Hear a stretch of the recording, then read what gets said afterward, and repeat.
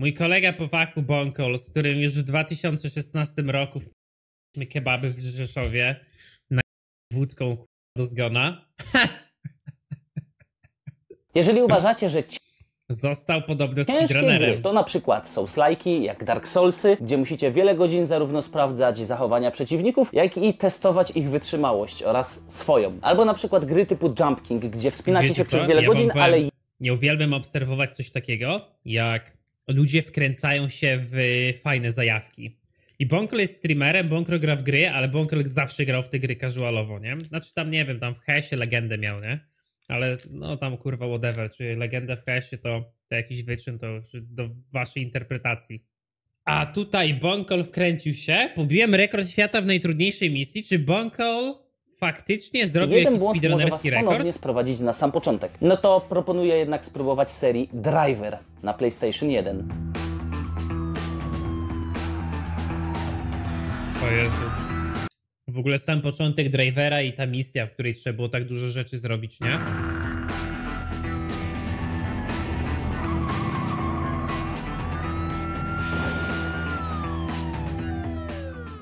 To właśnie ta gra, zarówno jedynka, jak i dwójka, doprowadziły mnie do granic moich wytrzymałości, jeśli chodzi o tak zwane misja, no. nerwy podczas grania. Ale co powoduje, że ta gra, właśnie odkopana teraz, ja jestem na świeżo po ukończeniu tej gry, zarówno jedynki, jak i dwójki, sprawia nam nadal ogromne problemy. I dlaczego kiedyś nie sprawiało nam aż tyle problemów? Po pierwsze, budowa gry. Gry to nic innego jak walka z czasem. Każda misja, a jest ich kilkadziesiąt, to jest nic innego jak bardzo krótka misja, przykładowo dwu, trzy, może cztero czy pięciominutowa, gdzie musimy pojechać od punktu A do B właśnie przed upłynięciem czasu i dodatkowo cała gra jest zbudowana Jezu, z takich małych misji. tak Łącznie, zajebisty. gdybyśmy zrobili każdą misję za pierwszym razem, to nie będzie dłużej trwało niż jakieś 2-3 godziny. Ale z racji tego, że poziom trudności tej gry jest tak niewyobrażalnie, irracjonalnie wysoki, gdzie nie można popełnić praktycznie żadnego błędu, bo tak kiedyś tworzono gry, to właśnie tutaj wielokrotnie będziemy walczyć z tym czasem, będziemy na niego spoglądać, więc już na wstępie, jeżeli jesteście osobą, która nigdy nie lubiła gier,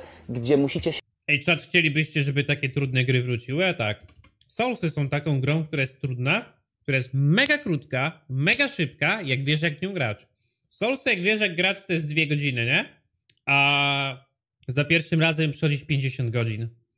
Się ciągle patrzeć na zegar, ciągle was to stresuje, czy na pewno zdążycie, to driver na pewno nie jest dla was. Druga sprawa to przede wszystkim to, jak ta gra chodziła. Driver 1 musiał być tak skompresowany i tak stworzony, aby PlayStation 1 dało radę go odpalić. I co za tym idzie, niestety wiele map wczytywały się na naszych oczach. To znaczy, jadąc dużą prędkością, mijając bardzo dużo obiektów, takich jak inne samochody, albo nawet jakieś palmy, no po prostu wszystko, co możecie spotkać, rozglądając się, prowadząc samochód. I ogólnie problem tej gry wynika z tego, że większość rozgrywki nie toczy się przy normalnej ilości klatek na sekundę. Niestety, grając w slow motion, musimy także w slow motion wykonywać ruchy, to znaczy musimy myśleć w slow motion i nie jest to łatwe, bo generalnie my żyjemy w czasie rzeczywistym, a nie w zwolnionym, więc w tym wypadku potrzebujemy trochę wprawy, aby ogarnąć, że w zwolnionym tempie, kiedy skręcamy w prawo, to musimy w odpowiednim momencie na padzie nacisnąć w lewo, żeby w ogóle nam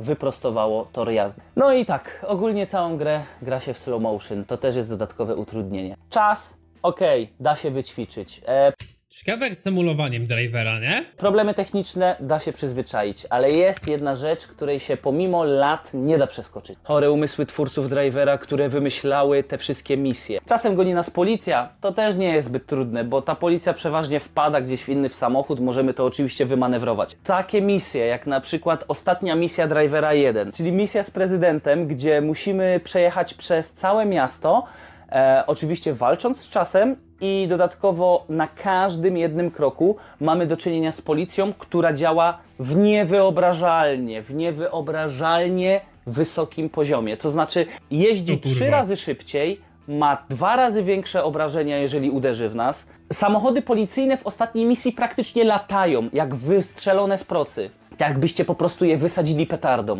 I to jest misja, w której praktycznie nie możemy popełnić błędu, bo jeżeli go popełnimy, to po prostu nie dojedziemy w jednym kawałku do mety. nie? Misje, które na przykład na timerze mają około dwóch minut, a ja potem jak zaczynam grać okazuje się, że łącznie je przeszedłem dopiero po dwóch, trzech godzinach. Tak, są też takie misje, w których po prostu musimy popełnić tak dużo błędów, aby w końcu dowiedzieć się jak to działa. Warto nadmienić, że w driverze przede wszystkim drugim większość misji miało kilka wariantów. Co to oznacza?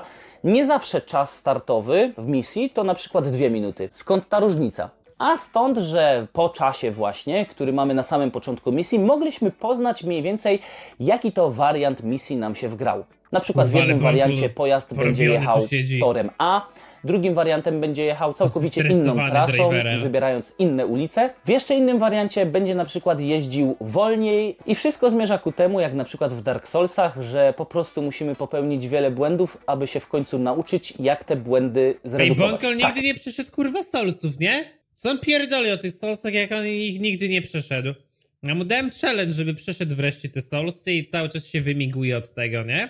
Widzowie, musicie go tam przycisnąć u niego na czacie. Tego mniej więcej uczy driver. A apogeum tego, co możecie doświadczyć, jeżeli chodzi o poziom trudności drivera, to misja, która się nazywa Chase the Gunman z Drivera 2. Jest to praktycznie druga misja od końca. Już po wielu godzinach gry dochodzicie do momentu, gdy już Wam się wydaje, że jest tak bardzo blisko i trafiacie na tą legendarną misję, w której to czasy, nie? musicie po prostu wydawałoby się taka prosta rzecz. Misja w założeniach bardzo prosta. Musimy dogonić czerwony samochód, w którym jedzie ktoś, kto przed chwilą strzelał z pistoletu. Po prostu musimy go zatrzymać. Jak to zrobić? Musimy Czy go na tyle obić, aby misję? się zepsuł jego pojazd i wtedy no, gotowe. Wydawałoby się, że jest to bardzo proste. I wiecie co? Misja, która ma dwie minuty, jest najtrudniejszą misją, gdzie powstają poradniki w internecie i ja ją zrobiłem dopiero po 6 godzinach. Ja wam tą mapę namaluję na pamięć. Jak ja to przejdę, to jak mi, mi, mi ktoś dał program ja do nie wierzę w to. malowania trójwymiarowego, to wam ją namaluję. Ale na mamy o to pamięć, się nie? teraz zmie- zmierzyć w driverze.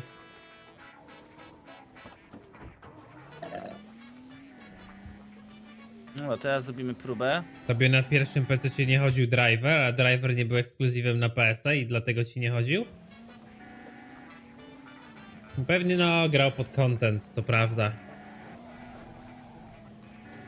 Pozdrawiam mojego brata, który cię ogląda od dawna i ma koszulkę Bagno. Siema Romeister, dzięki za suba, również pozdrawiam brata, no to hopie.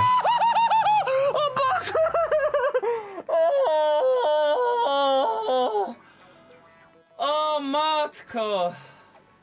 Hopie, 6 godzin na liczniku. To trudniejsze niż Manus.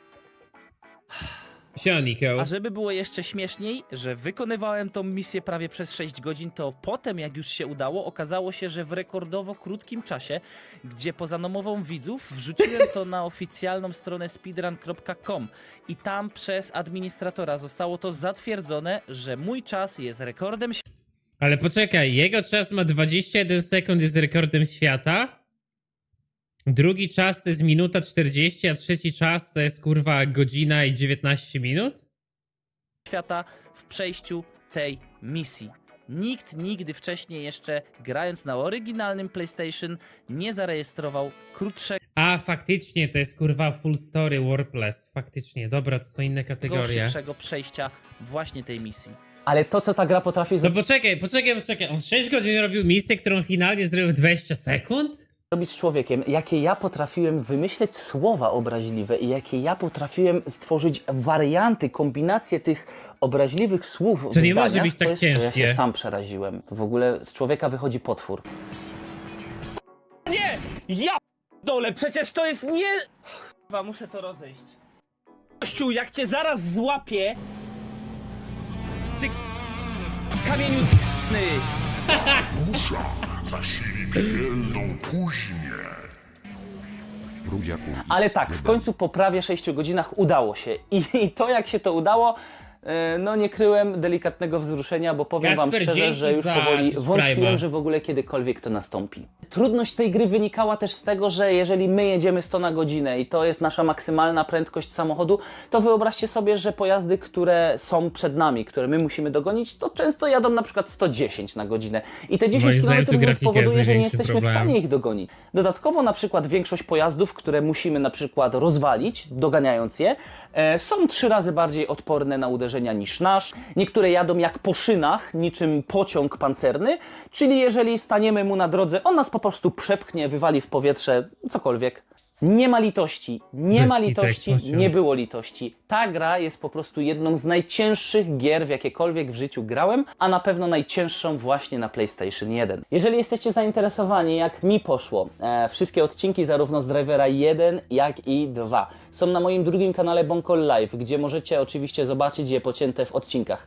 Uprzedzam, dużo z tych odcinków, a raczej zdecydowana większość, zawiera wielokrotne, różnorodne i najbardziej prymitywne słowa związane z wulgaryzmami. Ale zostały specjalnie udokumentowane, aby przestrzec innych, co ta gra może zrobić z człowiekiem. Jeżeli wy uważacie, że Driver, zarówno 1 jak i 2, wcale nie jest najcięższą grą, w którą można było dotyczy, zagrać nie? na PlayStation 1, to czekam na wasze propozycje. A jeżeli potwierdzacie to Solsy i też macie Dawid. jakieś wspomnienia właśnie z wymienionym tytułem, Także zachęcam do komentowania. Dodatkowo, jeżeli jesteście zainteresowani zarówno moimi streamami A, widzowie, oraz większą ilością retrogier, w opisie znajdziecie drugi kanał, czyli Bonko Live, gdzie właśnie takie gry odpalane na konsoli sobie streamujemy i później wrzucam je na YouTube'a. A jeżeli szukacie nowoczesnych gier, ale także retro, ale w wersji cyfrowej, no, to zapraszam także do opisu. Tam macie sponsora, czyli G2A.com. Od wielu lat współpracuję ze stroną, gdzie możecie kupować po taniości gry, a raczej klucze do tych gier. To tyle. Trzymajcie się. Cześć. Otwieraj, otwieraj ten garaż! Otwieraj! Jo! O, chłopie, pół sekundy do końca. 0,63 setne! O Boże! O Boże! Essa, kurwa.